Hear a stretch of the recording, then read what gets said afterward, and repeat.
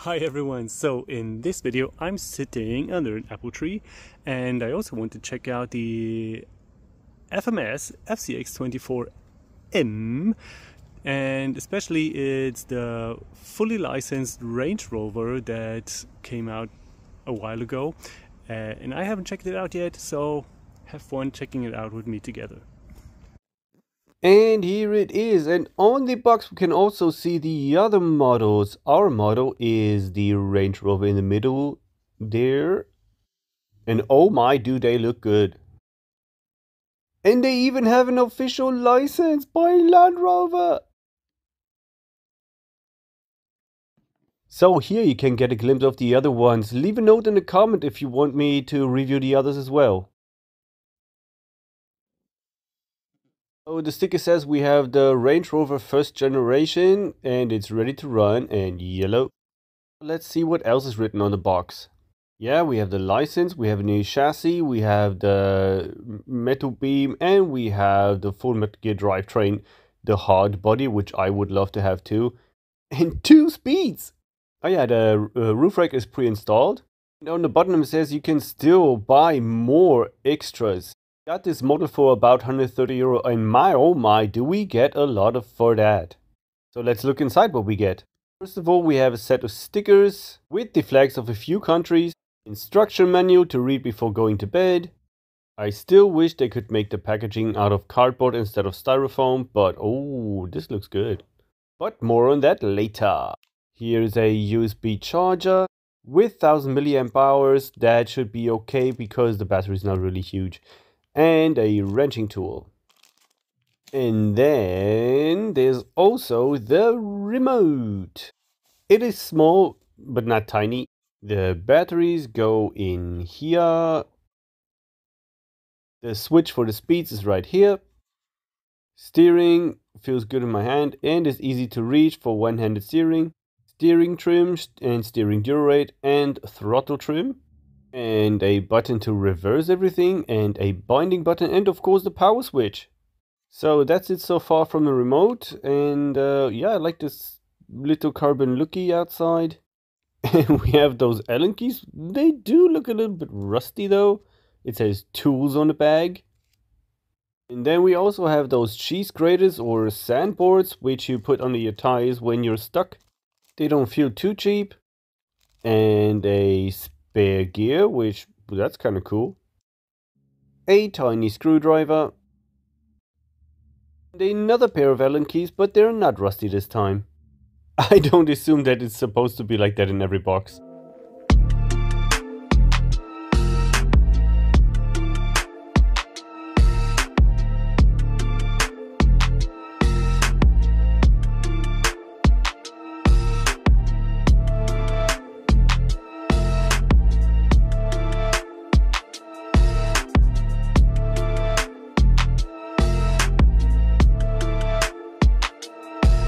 Tires feel grippy and squishy, probably foam filled.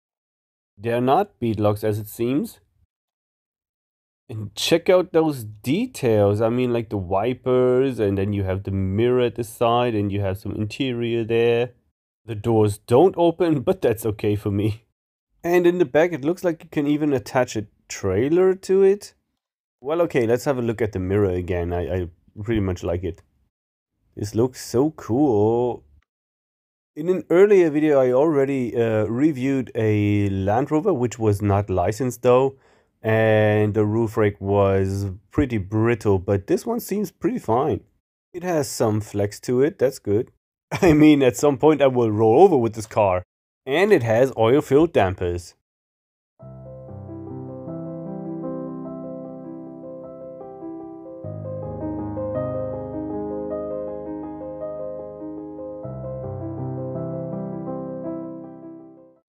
There's a velcro strap holding the body in place and then you just hinge it open. Uh, but it's really strong, my goodness.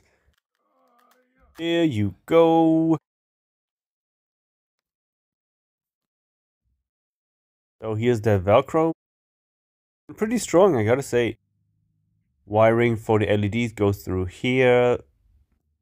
A battery is held in place by this rubber. Ooh, that's soft.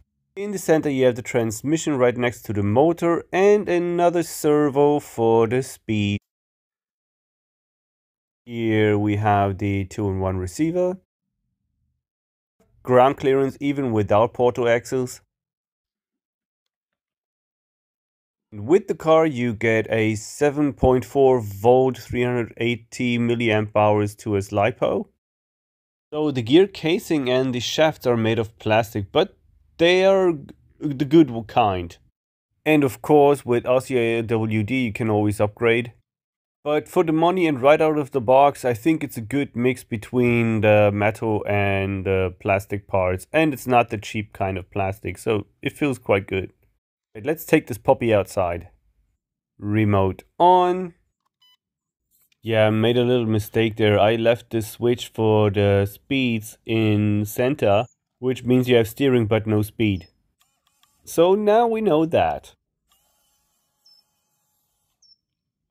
So this is speed 1 or the first gear if you want to say that. This is the fastest it goes then. Now a little bit slower.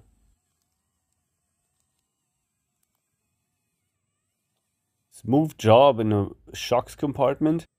And the modulation feels good as well, even backwards. Let's see that up close again.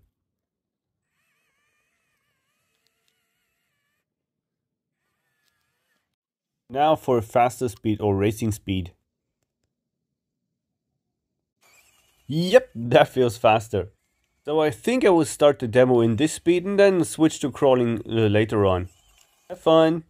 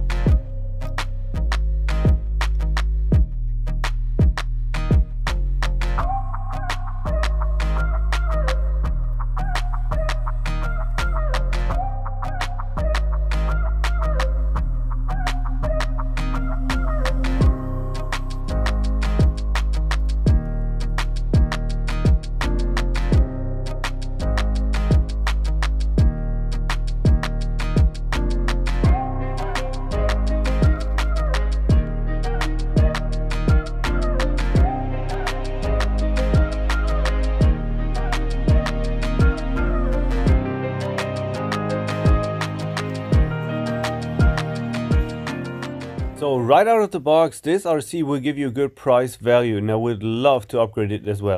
I hope you enjoyed the video. If you did, please give it a like, consider subscribing and thank you for watching.